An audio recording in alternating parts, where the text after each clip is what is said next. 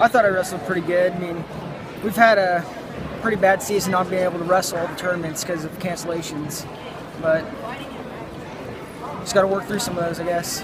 Did you feel like you were ready then coming in to regionals? Yeah, I felt like I was pretty ready. Been tra- we've been working out pretty hard at practice and having my brothers push me and the team to push us.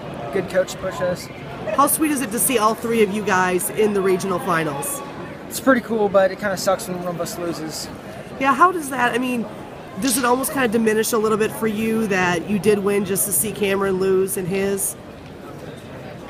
Nah, it just happens. Sometimes I sometimes I lose, sometimes he wins. It just can go either way.